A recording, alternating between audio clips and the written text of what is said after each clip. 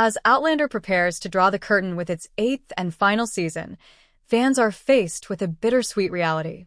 This last chapter is poised to conclude the riveting saga of Claire and Jamie Fraser with an emotionally charged narrative that has been a hallmark of the series. Outlander's eighth season comes on the heels of the second part of season 7, which is scheduled to air in November 2023. This forthcoming season promises to be a culmination of the sprawling, time-spanning love story between Claire and Jamie, introducing final challenges and resolutions to their adventurous lives. In the second part of season 7, the show delves deeper into the couple's past, bringing unresolved issues to the forefront. These revelations are set to test the strength of Claire and Jamie's relationship as they navigate the complexities of their intertwined lives against the historical backdrop of 18th century Scotland and America. Both Jamie and young Ian will confront the brutal realities of war, an ongoing theme that has defined much of the series' narrative.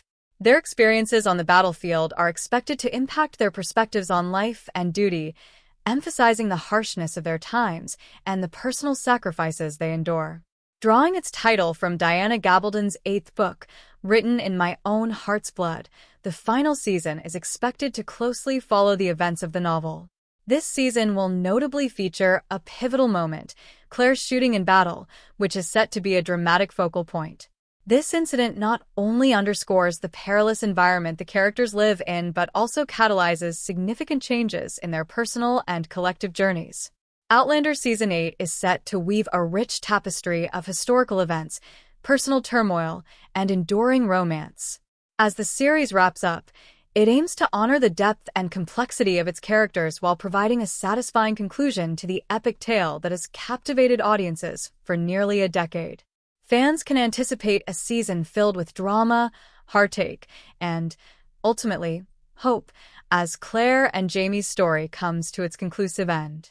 What do you guys think about this subject? I welcome your thoughts in the comments. For more such videos, you can subscribe to our channel, turn on notifications, and like our video. See you again, goodbye.